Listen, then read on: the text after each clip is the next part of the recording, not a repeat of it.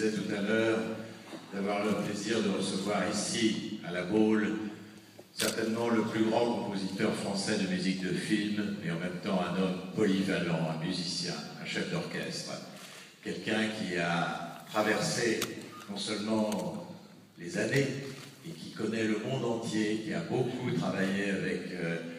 des metteurs en scène américains également, et qui Alors, euh, merci encore mille fois d'être à la boule ce soir. Écoutez, j'ai avec beaucoup de,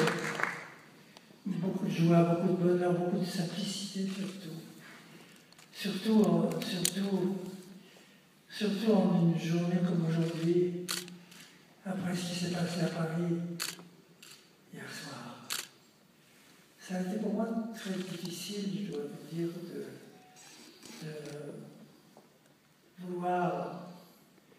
recevoir un cadeau, faire la fête, être heureux, nager dans un bonheur qu'on essaie d'organiser toujours au mieux avec ce massacre de cette nuit, c'est une